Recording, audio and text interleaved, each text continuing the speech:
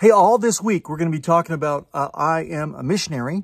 In fact, all month long, we're going to be talking about I am a missionary because we're wanted to see ourselves move in this, in this process from being people that are experiencing the love of God at, at a depth that it begins to change our love for everything else, for everyone else.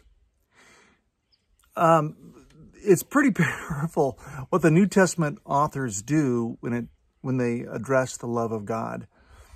Um, they basically make a case that if we say we love God and hate our neighbor, we're a liar. they make the love of God and the love of man inseparable. They say one goes with the other.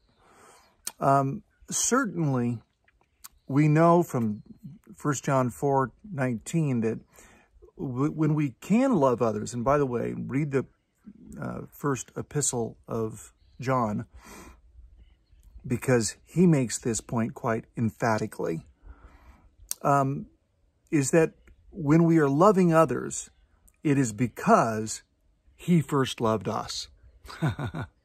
so we learn how to love from Jesus. That was kind of the uh, essence of this whole um, sermon this week. But I, want us to review just a, few things that we talked about.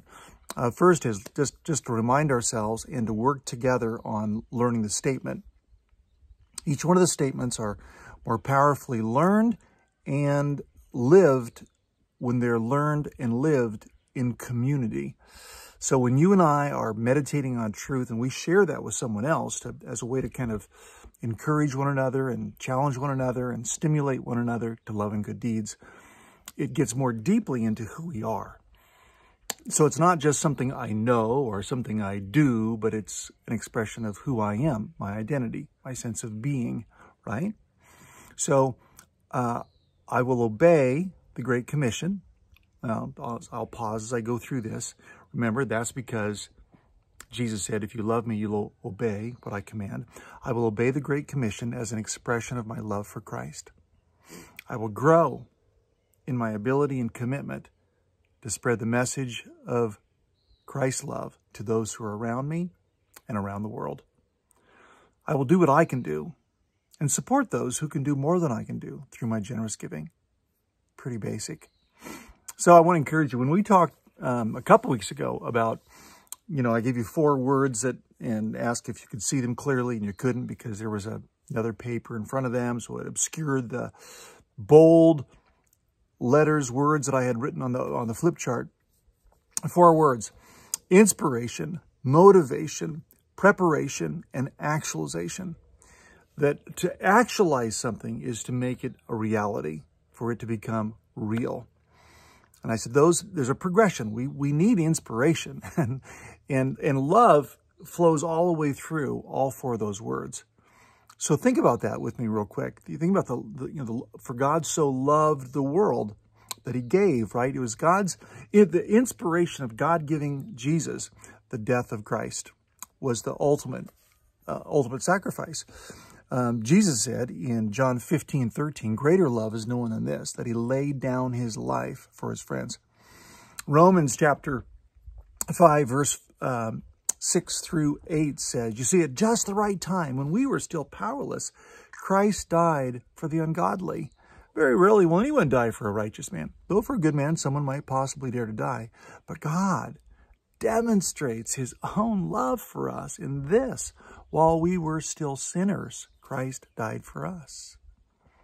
That that says it. That's the inspiration. That's why in 2 Corinthians 5.14, Paul could say, For Christ's love compels us.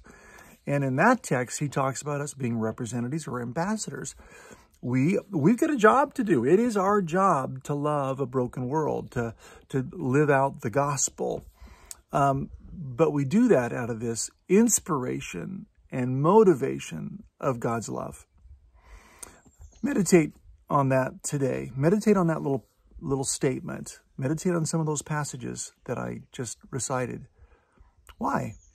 Because you and I uh, need to recognize that inspiration and motivation leak they leak. They We can be greatly inspired and greatly motivated, and then the next day, not so much.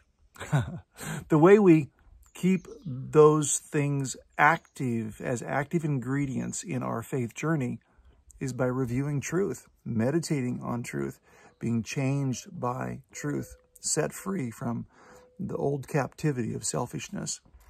Um, so today, be liberated by love because love does something to a lost world. Love you. I'll see you tomorrow.